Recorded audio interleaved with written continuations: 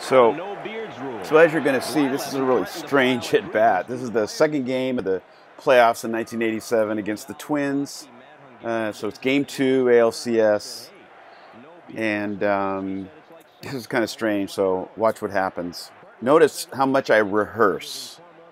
I rehearse because hey, I got, I want to get there, man. I want to make sure I get to that one spot. The ball hits me. Okay, notice how I'm kind of limping there the ball actually hit me, but I was so pumped up, I wanted to hit.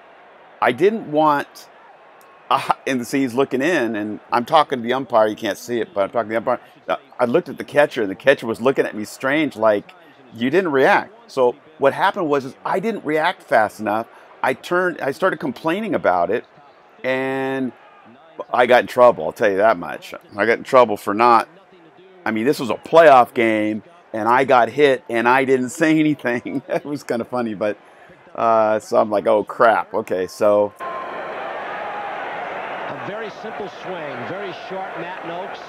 Three holds his hands. And watch, I think on this next pitch, nope, fouled it off. Ah, that was a good pitch. I just missed it. Short, compact, just missed that sucker. Not supposed to miss coverage. that pitch, right? You are absolutely. That was a pitch I should have hit out. All right, so. All right. Notice I, I used a, a 32 length, 32, 31 ounce. Curveball, outside corner. Blyleven had a great breaking ball. And uh, that was a backdoor curveball. You know, right out of the hand, that's that looks like it's high and outside, right out of the hand. So now he's gone. He's gone fastball away. He got lucky. He got you know, I swung and missed. Up and that ball hits me. That ball hit me. I mean, absolutely hit me. So that was the second time I got hit. And uh, I, I mean, I I'd come to my senses. You know, I'd come to my senses because Sparky's going to say, all we want you to do is ask Durwood. He does not have to if he doesn't want to. He's going to ask Riley's opinion, and I believe it looked like it nicked his leg. Or did it hit Laudner's glove and then I don't think hit so. Nokes afterward? Riley's shaking his head negatively, so is Durwood, so Sparky's not going to win this one. We're gonna show you know. I realized I can see I a can't do this twice. I mean, I wanted to hit really bad. I didn't want to walk. You know, I mean, I not walking, but I didn't want to just get hit. Hit off the left knee, folks.